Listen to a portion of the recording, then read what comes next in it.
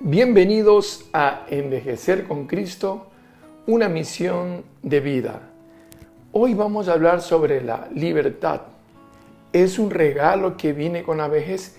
Sí, porque en la juventud y en la madurez de nuestras vidas estamos muchas veces presionados, esclavos del tiempo o esclavos de conseguir el, éxito en el trabajo, alcanzar eh, reconocimiento y eso es una presión y una esclavitud. Pero en la vejez es un regalo comenzar ya a liberarnos del que dirán y tantas cosas. Pero primero vamos a lo que nos dice la palabra de Dios. Vámonos a Gálatas capítulo 5 versículo 13. Dice nuestro Señor, les hablo así, hermanos, porque ustedes han sido llamados a ser libres. Fíjate tú, hermano y hermana querida, la libertad el Señor nos lo pide para que no seamos esclavos. ¿Y de qué esclavitud estamos hablando?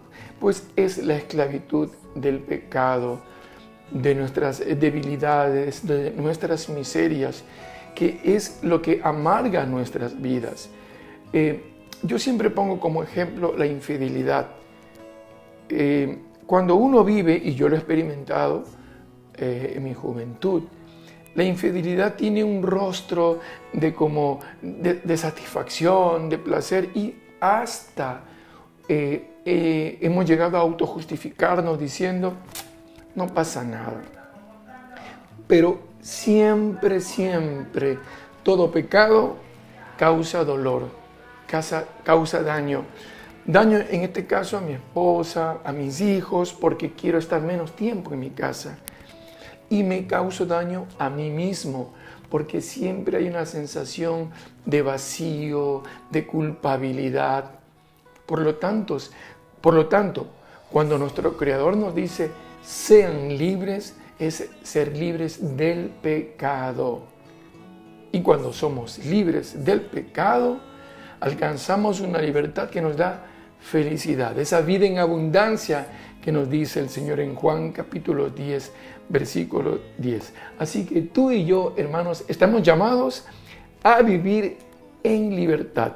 Vámonos a 2 de Corintios eh, capítulo 3, versículo 17 dice, porque el Señor es el Espíritu, y donde está el Espíritu del Señor, allí está la libertad. Aquí nos va aclarando que para vivir esa libertad, dejando el pecado, pero está llenarnos del Espíritu de Dios. Por eso dice, el Señor es el Espíritu. Y donde está el Espíritu del Señor, allí hay libertad. Entonces, una meta de nuestra vida, ahora que ya estamos llegando a la vejez, ojo, esto aplica a cada etapa de la vida, en la juventud, en la madurez, en la vejez. Siempre el que nos vayamos llenando del Espíritu de Dios nos va a hacer vivir esa libertad.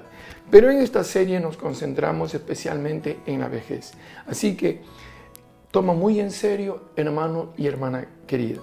¿Quieres vivir en esa libertad de dejar todos esos dolores, aflicciones, esa incertidumbre que nos viene de estar preso por lo que el mundo dicta, por lo que, eh, por ejemplo, hay que estar eh, eh, siempre cerca de la belleza, mostrando lo mejor, esa eterna juventud.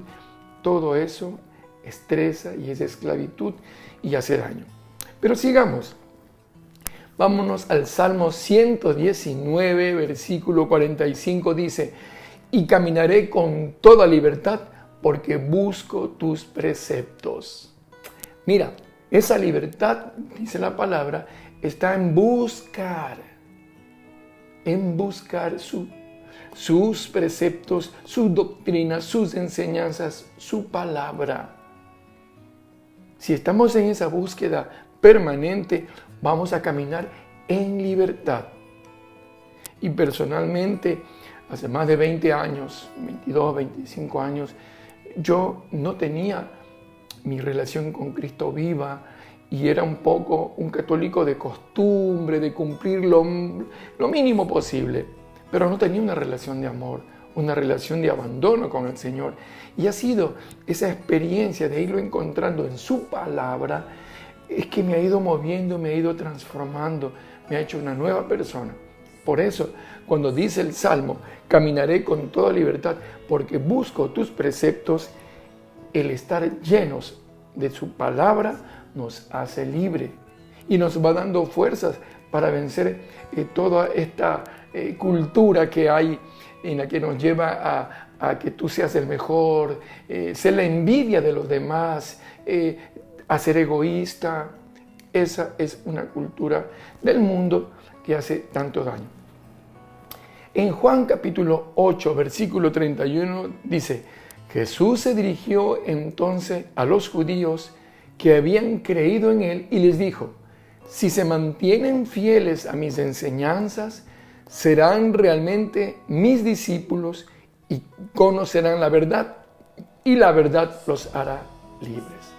Hermanos queridos, mantenernos fieles. Una vez que estamos en su palabra, comenzando a crecer en nuestro espíritu, comenzando en nuestra relación con el Señor, hay que mantenerse fieles. Y dice, fieles a mis enseñanzas, porque nos convertiremos en sus discípulos, conoceremos la verdad. Mira, es a partir de ese conocimiento de la palabra de Dios que adquirimos la verdad de la vida, no lo que propone el mundo. No, la verdad de la vida, la que da realmente felicidad aquí en la tierra y en la vida eterna. Y esa verdad, dice, nos hará libres. ¿Quieres ser libre? Pues entonces a llenarnos de la palabra de Dios. Finalmente en Romanos capítulo 6, versículo 22 dice, ahora en cambio ustedes están libres del pecado y sometidos a Dios. El fruto de esto es la santidad y su resultado la vida eterna.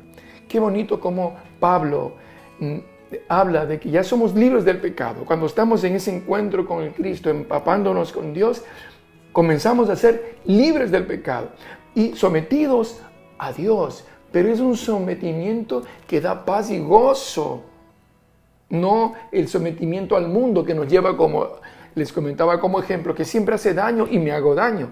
Entonces, nos mantenemos fieles a las enseñanzas, eh, nos sometemos a, Dios y dice, el fruto de esto es la santidad.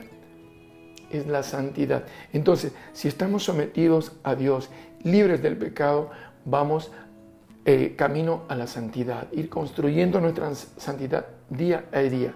Y finalmente dice, si estamos en este camino de la santidad, su resultado, dice, será la vida eterna. La palabra de Dios es clarísima, es contundente. Por lo tanto, en la vejez, hermanos queridos, podemos nosotros ser realmente libres, libres. Y es a partir de ir creciendo nuestra espiritualidad en la que podemos ir viviendo esa experiencia diaria de la libertad, que nos lleva al gozo, a la santidad, a la paz y a la vida eterna. Como siempre les digo, este programa está, eh, se retransmite en Radio Fe, Bajo la Unción y TV Fe, a través de la comunidad Amigos de Jesús, aquí en Ecuador, y en Chile, Radio San Pablo 107.7, Antofagasta. Como siempre les digo, la vida es corta, vale la pena prepararnos para la eternidad. Y ora, por favor, por todos los que evangelizamos. Nos vemos y escuchamos en el próximo programa.